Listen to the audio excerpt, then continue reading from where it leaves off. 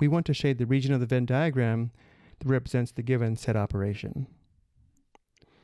On the left, we have A minus B, which can be expressed in either of these two ways.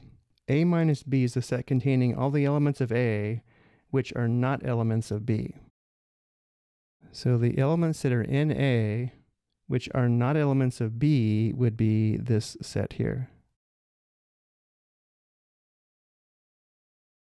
Again, this set contains the elements that are in A, which are not in B. This is A minus B. For the second example, we have A minus the intersection of B and C. We want to shade the region that represents the set of elements that are in A, which are not in B and C, or not in B intersect C. Let's first shade B intersect C which is the region that represents the set of elements that are in B and C, which would be this yellow region here.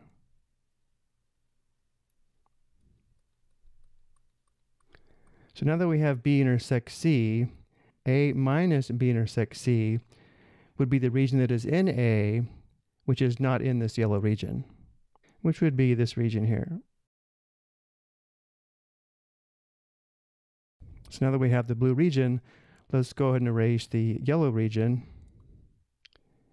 and shade the blue region.